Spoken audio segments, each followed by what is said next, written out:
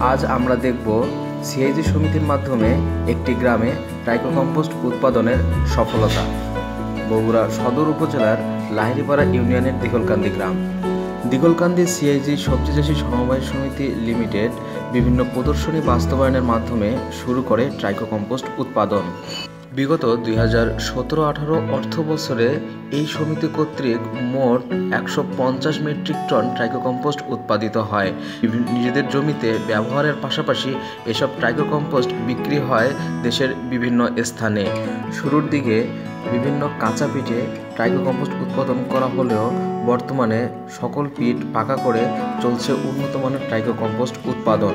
গোবর সহ অন্যান্য পচনশীল আবর্জনা ট্রাইকোডার্মার মাধ্যমে পচিয়ে খুব সহজেই তৈরি করা যায় উন্নত মানের ট্রাইকো কম্পোস্ট এতে সময় লাগে চল্লিশ থেকে পঁয়তাল্লিশ দিন। উৎপাদিত ট্রাইকো কম্পোস্ট চালনির মাধ্যমে চেলে এর থেকে বিভিন্ন অপদ্রব্য আলাদা করা হয়।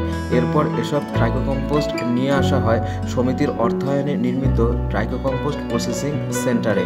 বিশ কেজি করে প্রতি বস্তায় ব্যাকিং করে নিয়ে যাওয়া হয় সমিতির গোডাউনে। যেখান থেকে দেশের বিভিন্ন জায়গায় চলে যায় এসব ট্রাইকো কম্পোস্ট বর্তমানে গ্রামের সিআইজি নন সিআইজি সহ প্রায় চুয়ান্নটি চুয়ান্নটি পরিবার এই ট্রাইকো কম্পোস্ট উৎপাদনের সঙ্গে জড়িত এবং আশেপাশের গ্রামেও এই ট্রাইকো কম্পোস্টের গুণাগুণের কথা ছড়িয়ে পড়েছে, যার ফলে এই গ্রামের নাম বর্তমানে ট্রাইকো গ্রাম হিসাবে জনমুখে প্রচলিত হচ্ছে।